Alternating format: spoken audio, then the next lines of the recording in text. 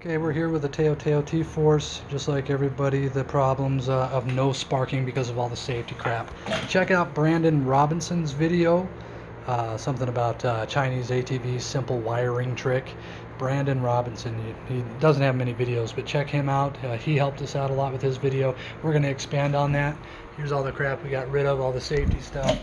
So, what you're going to do, let's get right onto it. That's, that's our CDI, we just use tape to uh, mount that. As you can see here, now Brandon used a four wire setup that will allow it to just start and get spark and start. But that's no kill switch, you know, uh, he added his own kill switch in there. So what you're going to have here, you got a gray wire. Let's see here, try to get a better That's view of this. kill switch. The black and white is going to be your kill switch, and it's Black. out of the center where the blue connector is. Yeah, that's that black was and a white. black and white striped wire, Okay. and that's going to be your kill wire. Run, run to your kill switch. Green wire is ground. The yellow and black stripe directly to your coil. The blue and white striped is to your stator. And the red wire with, I believe it's got a black stripe. Yeah, I think you're right. bla- red and black wire is also to the stator, So red and black wire. straight to the stator. We use the same And plug-in connections. Right, you don't even have to mess with those because they they go they're already there for you. All the four outside wires, the left upper, lower, right upper, and lower, are already going where they need to go for you. The, the black and white is the safety wire throughout the whole system. If if your brake lever isn't isn't depressed, that's your black and white wire. If your little lanyard that you're supposed to hook to your to your body in case you fall off and Yeah, which is right there, obviously on this other one. That's black and white wire as well. all the black and white ones are the safety system and they're all gone now. Yeah, as you can see, that's all the safety kind of junk we got rid of. But like I say, we're utilizing this kill switch and the start switch. And how did we do that? So coming down, this is all original here. The blue wire has to be connected to a positive source, so we used a red wire, and Over. that goes straight to the solenoid On the positive post. on the positive post of the solenoid right there. And then in order, And that's going to the start button. yep, that goes from the start button. And so the blue wire that should be on your start button right now, go down. You're gonna have to splice a piece of wire in, go to your positive on your starter solenoid there. And then, The brown wire, which was the other wire for the start button, is going to be to the activation wire on the solenoid. It's going to provide the juice to activate the solenoid.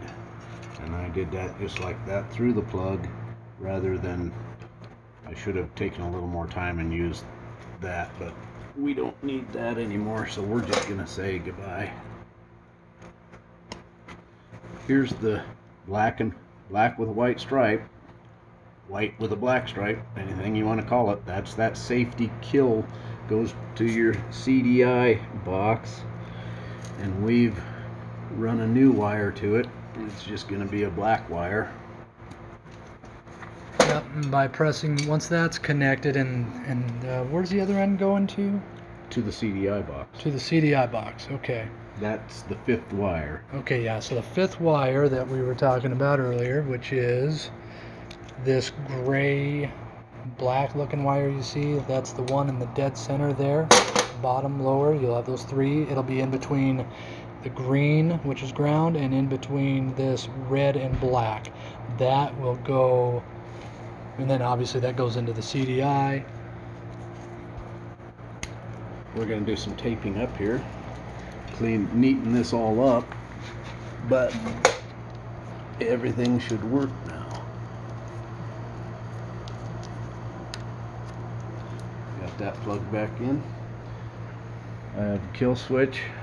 We have the ignition switch, which is just going to basically power the headlights. It will not turn it on or off, but it'll run the headlights. Yeah, that'll allow your voltage regulator, all your headlights are go through the voltage regulator to keep them from blowing out and stuff. So it won't be living off the battery. We have all this is going to work too. So our kill switch is in the on position. It's running.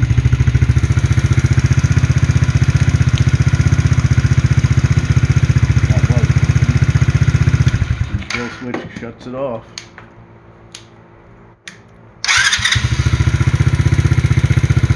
And that's the only way you can shut it off is the kill switch. Yeah. Okay, so the kill switch. Let's. Did, did we talk about everything here then? Mm-hmm. How's the kill switch wired? One more time. kill switch is going the that black and white safety wire we talked about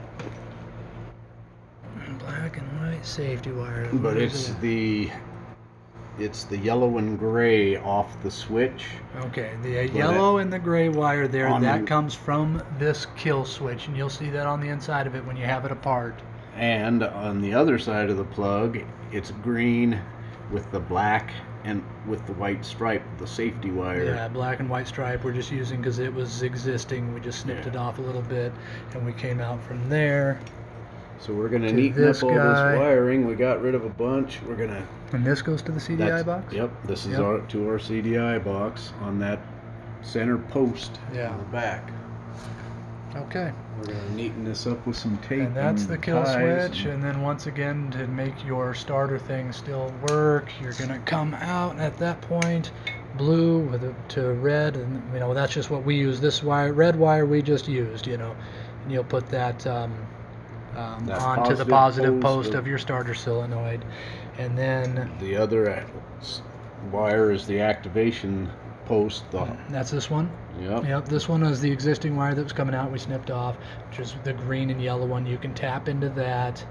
Uh, and it's going to excite the go to the yellow and red wire and then plug this into this harness here as you can see which eventually leads to the solenoid that excites the solenoid and that tells it to start. Hopefully this helps somebody